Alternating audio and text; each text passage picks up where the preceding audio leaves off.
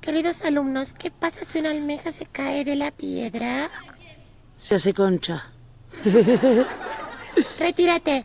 Ay, me echaron a la mierda. Hija mala onda esta. Pendejo pelotudo. Me voy.